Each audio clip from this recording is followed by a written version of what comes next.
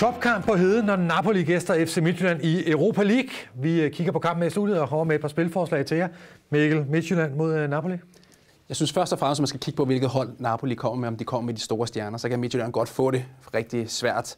Men ellers så vil jeg tro, det bliver en kamp med få mål, så, så under 2,5 mål herfra. Det muligt, bliver få mål, så tror jeg altså, at dem, der bliver scoret, det er gæsterne, der, der står for dem. Jeg synes altså, det er Napoli-hold, især med den øh, historik, de har den seneste halvanden måned tid, to måneder. Ni kampe uden nederlag, og det er altså nogle store øh, hold, de har slået på vejen. Jeg tror, Napoli vinder, og jeg tror, de gør det med mere end et mål. Så skal det blive en 2-0 sejr, for jeg er komplet enig med Mikkel. Jeg tror nemlig heller ikke, at det bliver en kamp, hvor målene ligesom kommer til at stryge ind. Med det forbehold for, at vi ikke kender startopstillingerne, og det kan altså være rimelig afgørende, specielt hvad angår, hvad angår italienerne, under 2,5 mål. Sådan vurderingerne og analyserne her for os. Husk, held er ikke tilfældig. Gå ind på unibet.dk og se alle spilmuligheder på øh, kampen, og så er det måske meget godt det som ikke til at lige vente indtil vi kender startopstillingerne fra de to klubber, før du placerer dit spil.